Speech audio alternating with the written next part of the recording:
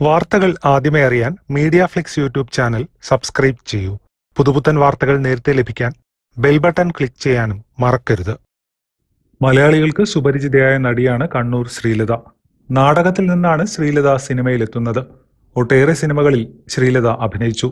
വീട്ടിലെ ദാരിദ്ര്യത്താൽ പതിമൂന്നാം വയസ്സിൽ തന്നെ ശ്രീലത നാടകരംഗത്ത് എത്തുകയായിരുന്നു. പ്രശസ്ത നടിയായി ഉയർന്നു വരവേ വിവാഹം പോലും കഴിക്കാതിരുന്ന പ്രായത്തിൽ തേടിയെത്തിയ ഒരു ദുരന്തമാണ് കണ്ണൂർ ശ്രീലതയുടെ ജീവിതം തന്നെ മാറ്റിമറിച്ച അവസ്ഥയിലെത്തിയത്. തൊണ്ണൂറുകളിൽ ഓടി നടന്ന് അഭിനയിക്കുന്നതിനിടയിലാണ് ആ സംഭവം നടന്നത്. പിന്നീട് അത് ജീവിതത്തിൽ നിന്ന് പോലുമുള്ള ഒളിച്ചോടലായി മാറി.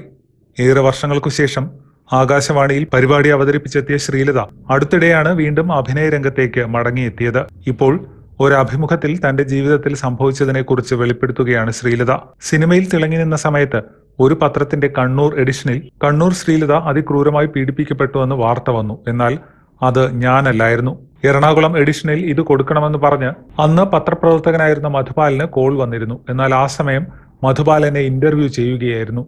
സാരമില്ല ഇതൊക്കെ സിനിമയിൽ സാധാരണയാണ് എന്ന് പറഞ്ഞ് എല്ലാവരും ആശ്വസിപ്പിച്ചു. പക്ഷേ എനിക്കും വീട്ടുകാർക്കും അതൊരു ഷോക്കായി. ഇതോടെയാണ് സിനിമയിൽ അഭിനയിക്കുന്നത് താരം നിർത്തിയത്. പിന്നീട് വിവാഹിതയായ ശ്രീലതയ്ക്ക് മക്കളില്ല. ഇതിനിടയിൽ രണ്ടായിരത്തി പതിനാറിൽ ശ്രീലതയുടെ ഭർത്താവ് വിനോദിനെ കടത്തിണ്ണയിൽ മരിച്ച നിലയിൽ കാണപ്പെട്ടു. തളിപ്പറമ്പിലെ പെയിന്റിംഗ് കടയിൽ ജോലി ചെയ്തു വരികയായിരുന്ന വിനോദിനെ താളിക്കാവ് റോഡിലെ ഹോട്ടലിന്റെ കടത്തിണ്ണയിലാണ് മരിച്ച നിലയിൽ കണ്ടെത്തിയത്. പിന്നാലെ തന്റെ കളിക്കൂട്ടുകാരനെ ശ്രീലത വിവാഹം ചെയ്തു. ചെറുപ്പകാലത്ത് ഇരുവർക്കും ഇഷ്ടമുണ്ടായിരുന്നെങ്കിലും അത് പറഞ്ഞിരുന്നില്ല.